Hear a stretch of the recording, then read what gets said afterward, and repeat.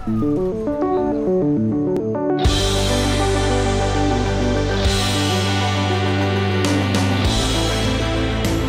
grew up in this neighborhood, and my grandparents lived on 150th and Riverside Drive for about 40 years. I think it's fantastic, just fantastic.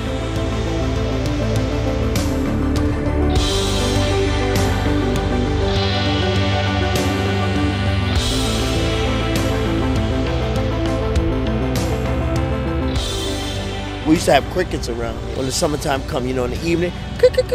You don't hear that anymore they had to move to go wherever they had to go. Worms, when it rained, worms used to come out. You don't, you don't see all of that anymore. A picture is better than somebody, you know, in your ear. So if they can see it, then they can, then, then they can understand it better.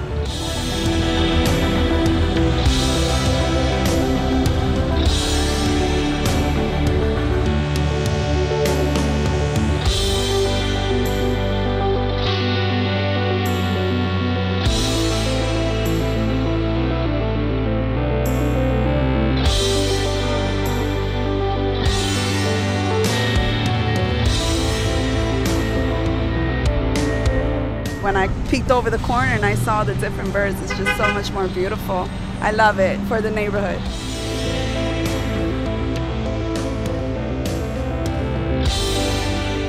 I was shocked when I saw it, but it's looking better and better and better. Nothing matches this. Nothing matches this in, in, in this area.